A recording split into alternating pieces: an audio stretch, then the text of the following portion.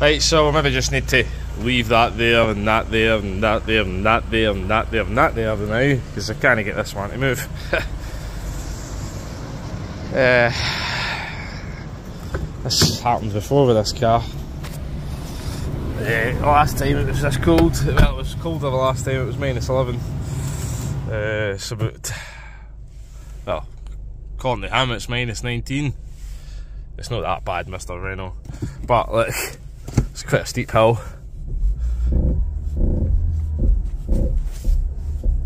I, I can't get it to release. It's just dragging the tyres, so I don't want to flat spot the tyres, so I can't even move the car at the minute. Fun and games, and it's this. Hit that thumbs up, guys. Hit that subscribe button, man. Have a great day. Hopefully, it's not as cold as 19, minus 19 reviews are. I think it's only minus four and a half to be honest with you, but cold enough that we can't get this bloody car moving. So, have a great day, guys, okay?